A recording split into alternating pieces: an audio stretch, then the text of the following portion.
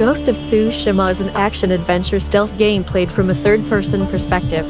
It features a large open world without any waypoints and can be explored without guidance.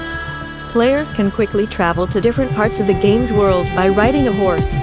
An item that acts as a grappling hook will be available to access areas that are difficult to reach. The game features side quests and unplayable characters to interact with.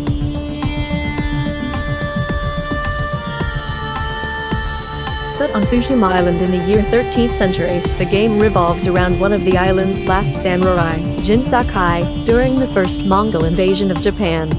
The armies of the Mongol Empire, utilizing weapons and military tactics unknown to the Japanese, have conquered and devastated many countries and Tsushima is all that stands between them and the mainland of Japan. The island was devastated by the first wave of the Mongol invasion.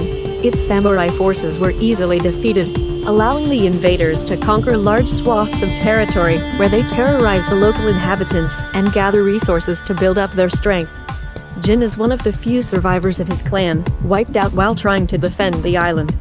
With his world shattered, Jin realizes that the way he was trained to fight is useless against such a powerful enemy.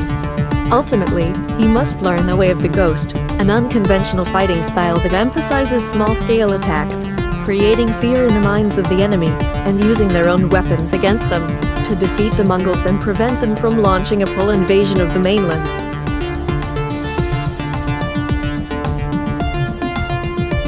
It will feature a diverse assortment of regions and buildings such as countrysides, fields, shrines, ancient forests, villages, farms, mountainscapes, and various landmarks.